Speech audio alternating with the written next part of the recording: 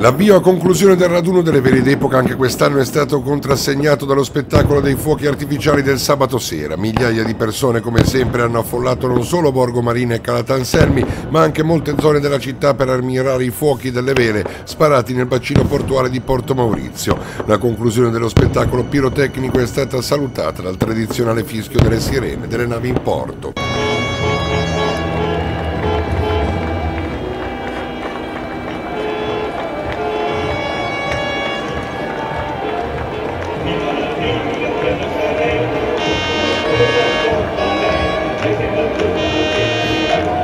La giornata domenicale per il raduno di Vele d'Epoca d'Imperi ha visto la conclusione dell'evento anche con la grazia da parte del meteo che ha consentito di svolgere il programma senza intoppi.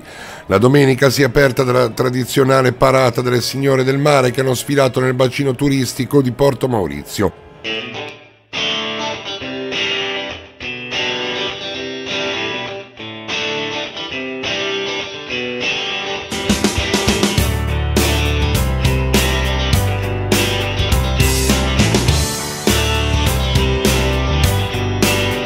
La giuria ha assegnato il premio per l'eleganza imparata a Stella Polare, imbarcazione della Marina Militare che opera nell'ambito degli sport velici della Marina e anche come nave scuola per i futuri ufficiali.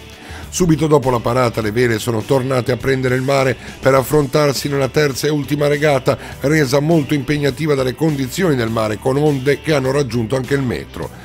La gara in mare coordinata dallo Yacht Club di Imperia si è comunque svolta senza alcun problema e con un solo ritiro.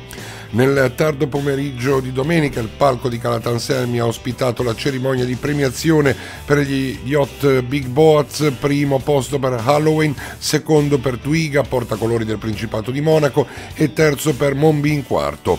Negli yacht epoca Aurici, primo Chips, secondo My Funway e terzo Lulu. Yacht d'epoca Marconi 1, Anne Sophie, Jour de Fête e Windover. Yacht d'epoca Marconi 2, Skylark, Emilia e Oiseau de Fée yacht classici 1 Sagittarius, Mai più e Mio Mao eh, settimo, yacht classici 2 Il Moro di Venezia, EA e Corsaro 2. Yacht Spirit of Tradition, primo Midva, secondo Clara e terzo Sandra.